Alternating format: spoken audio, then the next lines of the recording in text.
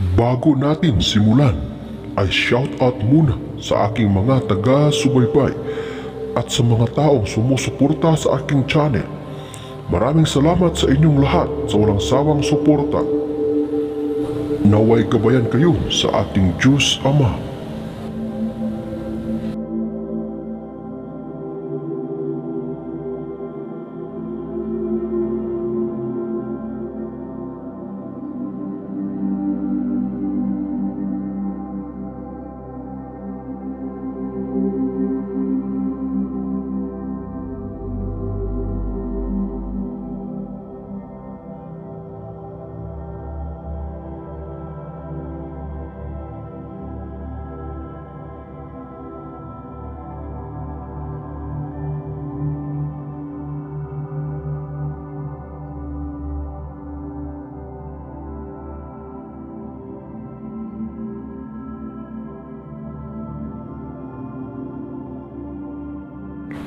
Orasyon para tumigil sa bisyo ang iyong asawa o mga partner.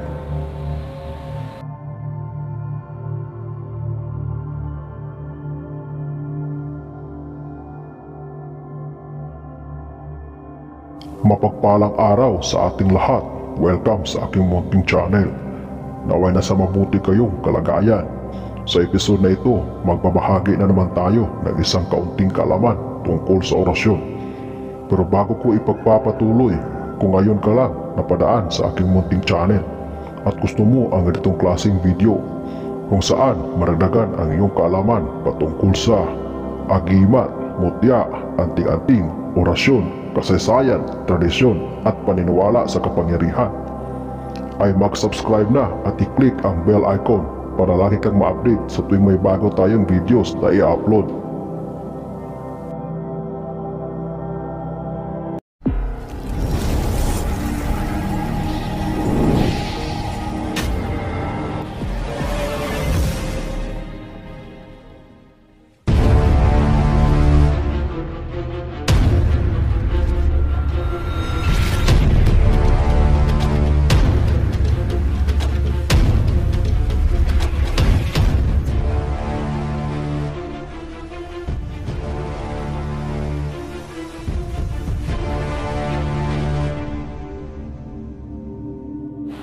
Kung ikaw ay namumroblema dahil sa ang iyong asawa o ang iyong partner ay hindi na makawala sa kanyang bisyo tulad ng pag-inom ng alak at pagsusugal. At kahit na anong gawin mo ay hindi na ito makakawala sa kanyang bisyo. Kaya ito ang dapat mong gawin. Magsindi ng itim na kandila. Isa lamang ang kandilang gagamitin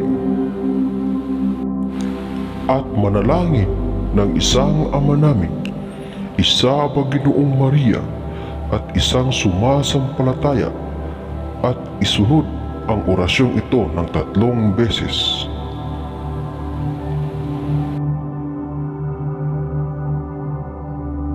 Aba namin, sumasalagit ka, sambahin ang pangalan mo, mapasa amin ang kaharian mo, sundin ang loob mo dito sa lupa para nang sa langit.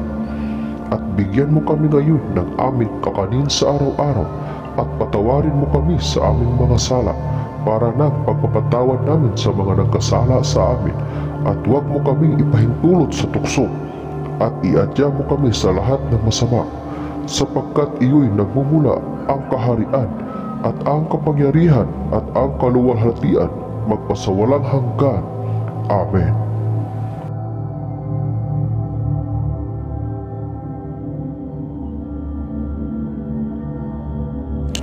Aba Ginoong Maria na puno ka ng grasya, ang Panginoong Diyos ay sumasa iyo. Bukod kang pinagpala sa babaeng lahat, at pinagpala naman ang iyong anak na si Jesus. Santa Maria, Ina ng Diyos, ipanalangin mo kaming makasalanan, ngayon at kung kami mamamatay. Amen.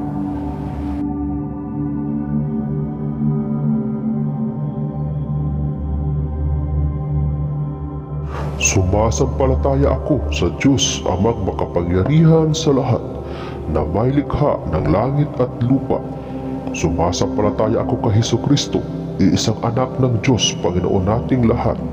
Nagkatawang tao siya, lalang ng Espiritu Santo, ipinanganak ni Santa Maria ang Birhen, ipinagkasakit ni Poncio Pilato, ipinako sa krus na patay at inilibing, nanaok sa kinaroroonan ng mga yumao, ng ikatlong araw na buhay namang uli, umakyat sa langit, naluklok sa kanan ng Diyos amang makapangyarihan sa lahat, at doon nagmumulang pariritot, maghuhukom sa mga nangabubuhay at nangamatay na tao.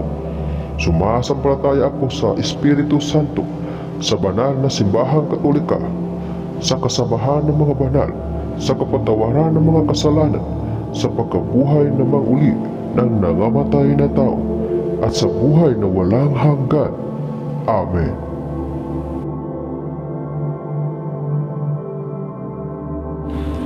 Ito na po ang orasyon na sasambitin o bigkasin mo ng tatlong beses. Gawin ito ng madaling araw at habang nakatitig ka sa apoy o ilaw ng kandila habang sinasambit ang orasyon.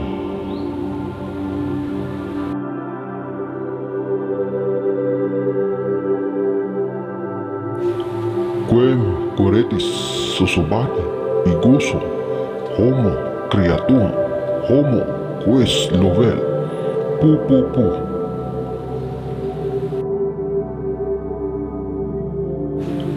Quem curetis susubati iguso homo creatum homo quis lovel pu pu pu.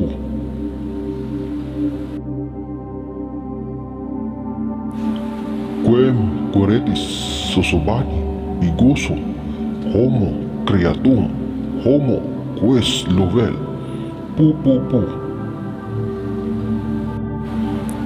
At sambitin ito sa huli. Tumigil ka na sa iyong bisyo na nakasisira sa ating relasyon. Sambitin ang pangalan ng pinatutungkulan.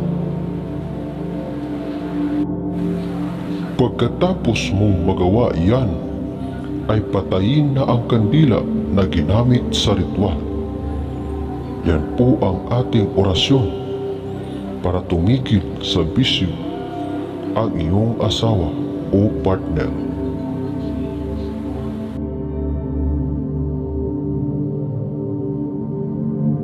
Sa mga nagnanais o gustong madagdagan ang kaalaman tungkol sa ganitong usapin, mag-subscribe lang po at i-click ang bell icon para sa aking mga future uploads. Panoorin ang aking mga nakaraang video para dagdag kaalaman. Salamat po. God bless us all. Hanggang sa susunod na episode. Ito pa rin ang inyong lingkod. Kapangyarihan sa paniniwala.